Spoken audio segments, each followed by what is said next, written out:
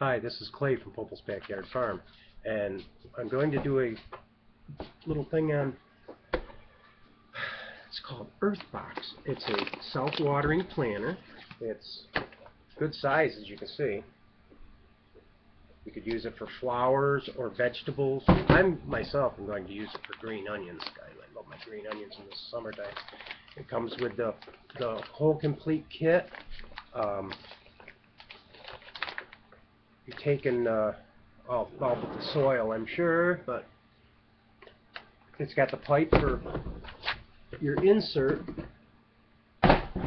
It's perforated to keep your water down below, and the water is brought up through these little reservoirs here. You pack these with stuff so the water leaches up out of the bottom into the into the planter itself and allows you to maintain the water level in the bottom and your plants don't drown and they have all the water that they need. You have the pipe for filling the water in the bottom of the reservoir. If any of you have been online and checked out things that were self-watering buckets and things, which we're going to do a little bit more this this uh, planting season with self-watering buckets, and we'll be doing some videos on that.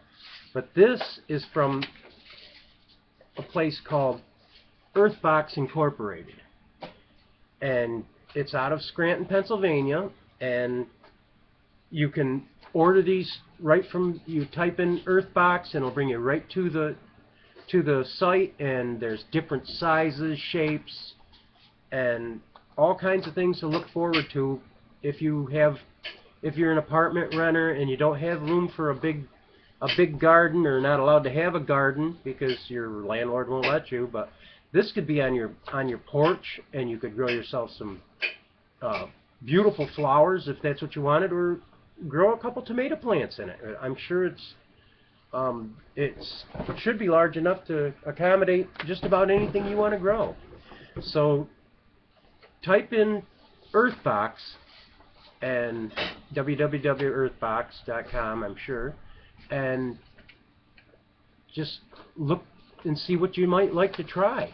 Um, it, I'm sure it's going to help us out with my green onions because I'm going to have a lot of them. Uh, this is Clay from Pople's Backyard Farm, uh, saying follow us and good day.